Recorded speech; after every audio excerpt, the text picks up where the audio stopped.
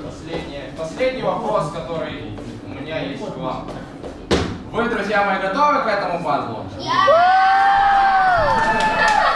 Еще раз, плохо расслышал. Вы готовы к этому пазлу, друзья? Отлично, тогда мы начнем.